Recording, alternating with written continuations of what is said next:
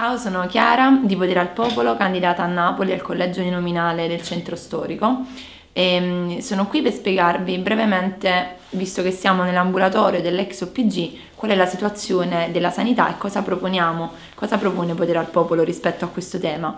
La questione è molto semplice, i problemi della sanità riguardano, come in tanti altri aspetti delle politiche sociali, due aspetti principali. La, il primo è, sono i tagli costanti e frequenti nel corso degli anni che sono avvenuti al sistema sanitario nazionale e che hanno imposto una costante privatizzazione del servizio.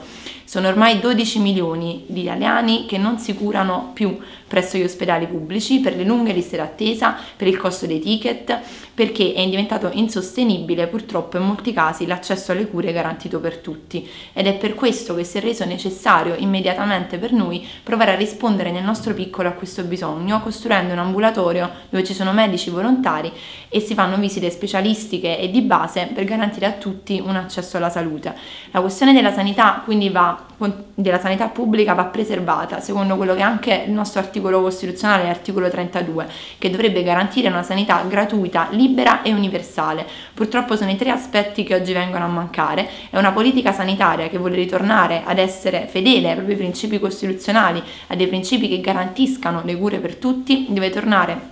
a evitare e combattere contro la privatizzazione e soprattutto a riorganizzare il sistema sanitario affinché sia preponderante una medicina della prevenzione, che non si attui semplicemente una medicina d'emergenza, ma che ci siano dei presidi sanitari garantiti con i medici di base, che facciano rete con altri specialisti, con i consultori da attivare nelle reti in tutto il paese ed evitare quindi che i tagli di questi anni continuino a smantellare il sistema. Questo è il nostro progetto, per questo che andiamo a lottare nelle piazze e nei luoghi istituzionali per garantire garantire che il diritto alla salute sia finalmente non in vendita ma sia garantito per tutti.